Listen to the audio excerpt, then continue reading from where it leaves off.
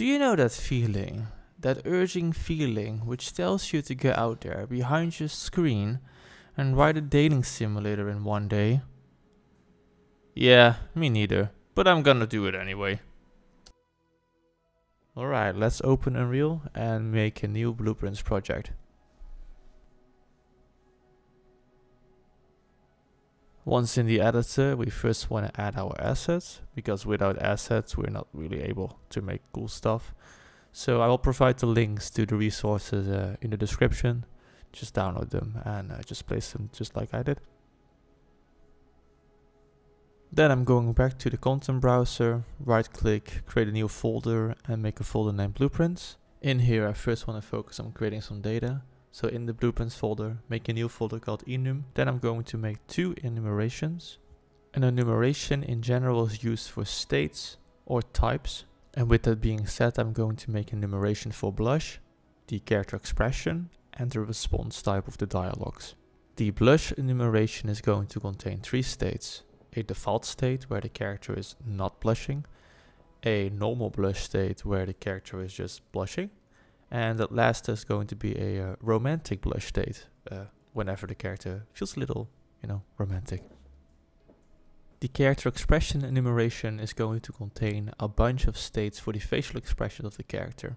And we will use these expressions to later on determine in the dialogue which expression the character should be uh, doing with their face. And at last we have the response type, which just says, hey, is this, is this the character or the narrator responding? Now that we have set up some states, let's head back over to the blueprints folder and create a new folder called struct. A struct in blueprints is essentially just a container for more data. And we are going to need two of those. One for the character clothing and one for the character expressions. In the character clothing, we're going to create some texture 2D references to later on link with the UI. This essentially just helps us specifying this character is wearing these clothes.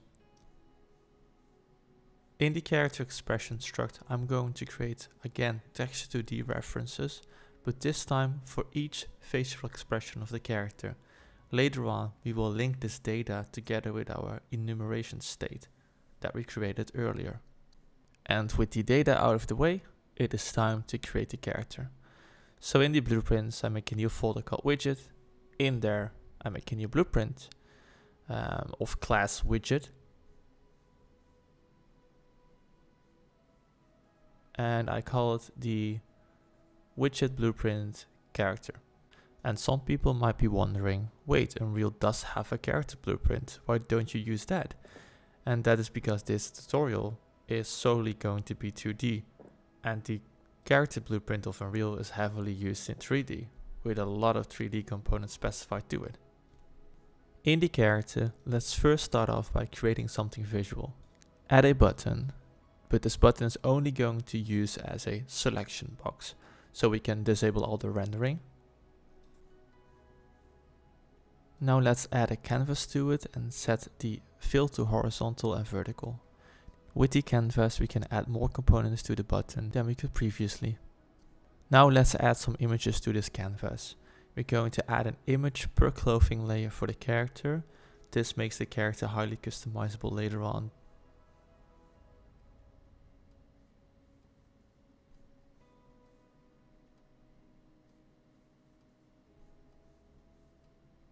After adding the images, I'm going to select them all and put their anchor mode to fill then I'm gonna put all the offsets to zero.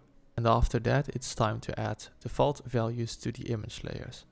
And by doing this, I'm just saying, hey, the body texture goes with the body layer and etc and etc. And when you've completed that, you will have something that looks like this. Which makes it time for putting the character on screen. And for this, we're going to need a new blueprint uh, again of type widget and I will call this one the background. In this widget I'm just gonna start with a canvas panel then going to add an image to this which serves as the actual background, set the anchor to fill, put off the offsets and then also put the right image in there. For me that's the schoolyard and after that I'm going to add our splendid character in there. I just drag it somewhere on screen. Then I make sure I give it some scaling so it's actually visible to that screen. And then I'm going to add the anchor point to the section where that character is on screen. So whenever I resize the screen, the character scales with it correspondingly. And the last thing I want to do to get this character on screen is to make it level per background. This will make it easier later on to just switch the backgrounds. Let's make a new basic level. In this level we open up the level blueprint. In here we're going to create the background widget. And after we have created it, we're going to add it to our viewport so we can actually see it on screen. Uh, we keep our order to zero because we want all the uh, other things to be drawn on top of the background. Now that we have done that, we can actually just save this level Now close off the blueprint and just uh, play the scene and uh, there you have it, a character on screen. And after we've done that, we're going to make the most important blueprint and that is the dialogue itself. So for this, we're going to make a new blueprint and of type data asset. Well, more precise, the primary data assets. And just call it the uh, blueprint dialogue.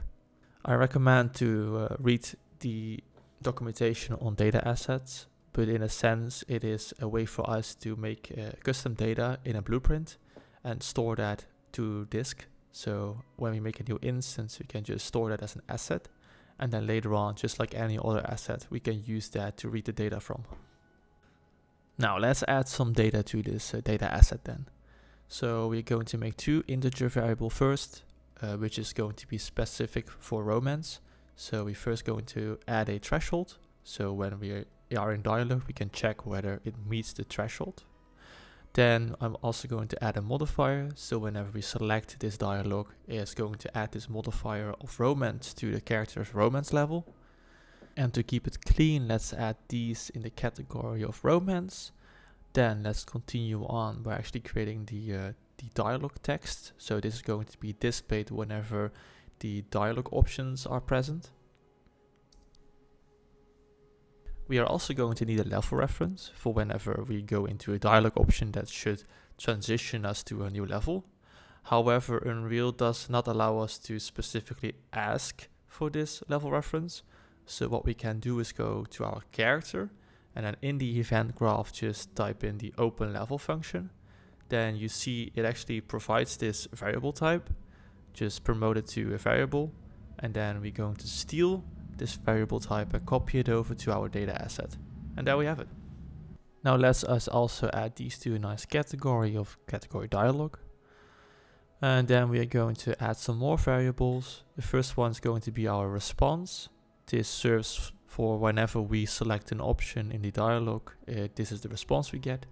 Then we also want a response type, thus being it a character response or narrator response. Then also I want as a variable the expression. So whenever I select the dialog, which expression is the character going to give us. Then the same goes for the blush expression. So whenever we select the dialog option, is this character going to blush? I also want to add an audio cue. So whenever we select the dialog option, the character can actually verbally respond to us. Um, I'm also going to integrate it in such a way that it's not mandatory but an option. Now let's give these variables a nice category of type response. So we keep it all nicely and clean. Then there is one more variable that I want to make, um, and that is a dialog. and that's kind of ironic because a dialog has a dialog. But uh, I'm going to make this of type array which allows me to have multiple dialog options in this dialog. So we can actually start nesting dialogues into each other. So whenever I select this dialog, it's going to show me the next dialog options from that dialog array. Now I'm going to head over back to our character and actually I'm going to give our character some variables. So first I'm going to give our character a name because obviously we want a person to have a name, right? Then after that, I'm going to add a romance level. This is just going to be an indicator uh, what the level of romance is at this point with the character. Then I'm going to give them a starting expression, essentially when the game starts, which expression is this character going to have. Then a starting blush, so same goes for the expression, whenever the game starts, which kind of blushing is this character doing.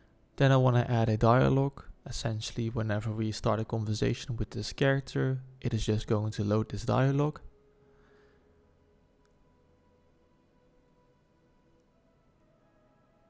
I will also be needing some references to the uh, clothing and facial expressions that we set up earlier.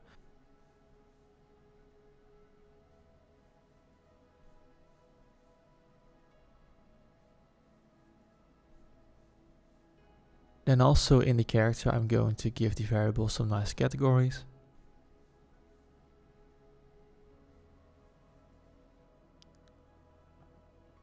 And once I've done that, it is time to actually put some uh, default values for those uh, variables. P.S. I'm going to call my character Vanessa for this tutorial, because I just like the name, really.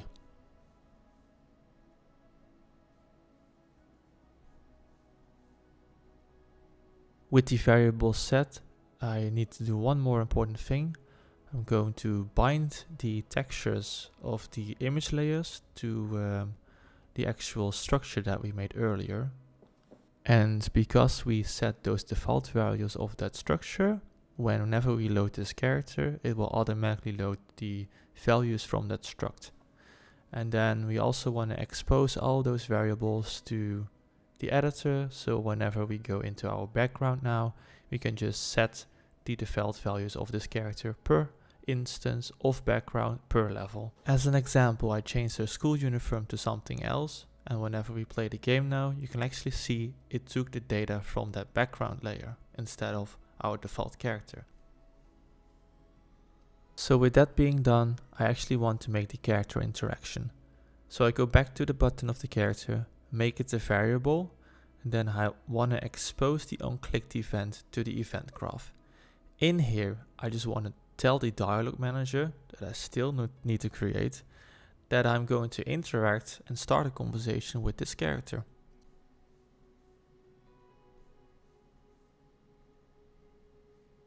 In order to do this, let's actually create the dialog manager. We make a new blueprint of type HUD. This is a special type of blueprint in Unreal, specifically designed for managing a heads-up display. Let's also make another blueprint of type game mode, because in order for the HUD to be specified to a level, the level needs to be overridden by a game mode.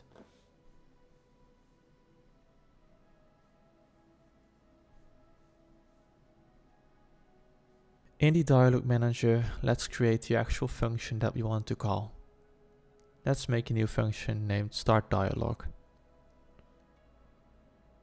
For now, this dialog is only going to take a uh, character in as parameter. Make sure it's of our character type. And because we're going to use this character later on, I also want to promote this to a variable and rename it to uh, the current character because essentially it's just telling the system now, hey, we're going to start a dialogue with this character. And then back in the character itself, I'm just gonna grab the HUD from the uh, player controller. And then I cast it to my HUD, essentially the HUD dialog manager. And from there on, I just want to call the start dialog method. And as the input parameter, I'm just going to give it a reference to this character that's calling it.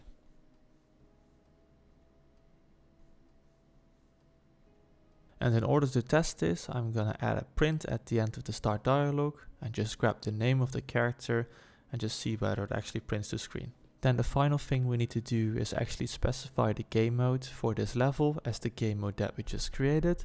And then to that game mode, we specify our HUD. Then we just play the game, press the character and see our name being displayed on screen. So cool, it works.